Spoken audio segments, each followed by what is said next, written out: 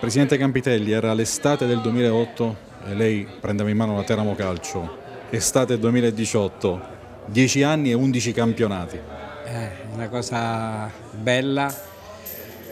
ti posso dire francamente che ho lo stesso entusiasmo, forse di più, di quel, del primo anno perché lì non mi rendevo conto che a che gioco giocavamo. Ripartiamo molto alleggeriti, ripartiamo da un progetto molto nuovo, eh, fatto veramente con eh, una linea comune e che devo dire? Devo dire che oggi abbiamo allestito una squadra giovane e con dei ragazzi meno giovani, penso che l'accoppiamento di questi due entità possa portarci dal sorriso che vedo di tutti i nuovi, perché i nuovi ridano a 48 denti e quindi l'avete visto anche voi che questo entusiasmo negli anni passati non c'era, eravamo tutti chiusi, tutti impauriti. Abbiamo fatto l'iscrizione alla squadra in un momento veramente terribile perché io ero scoraggiato, avevo voglia solo eh, di fuggire, ero, perché quando le cose poi non vanno bene, però non ho mollato, non ho abbandonato, i miei tifosi non li ho abbandonati, li ho riscritto alla squadra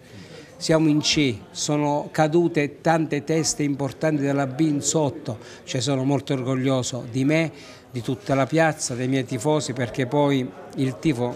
è una cosa che voglio dire, basta una vittoria per tornare a volerci bene, a stimarci. E quest'anno torneremo tutti a volerci bene e a stimarci perché ce lo meritiamo, perché non abbiamo abbandonato nessuno, né noi né i miei tifosi, i nostri tifosi veri e, nel sottoscritto che ha continuato a lottare, che ha lottato, che ha dato anni senza ferie pur di poter far sì che il Teramo Calcio rimanesse in questa categoria. La questione fideiussione, visto che qualche tifoso ha espresso qualche preoccupazione, cosa possiamo dire? Siamo andati in Banca d'Italia per capire se questa società era,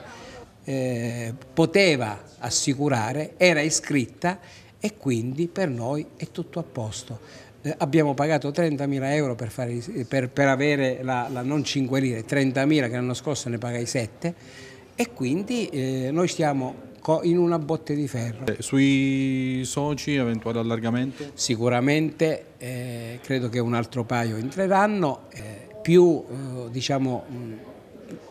il signor Cantagalli eh, con il signor Cantagalli abbiamo trovato un'intesa per quanto riguarda il campo e possiamo mettere a reddito quel bene perché oggi senza il bene del campo nessuna società può andare avanti.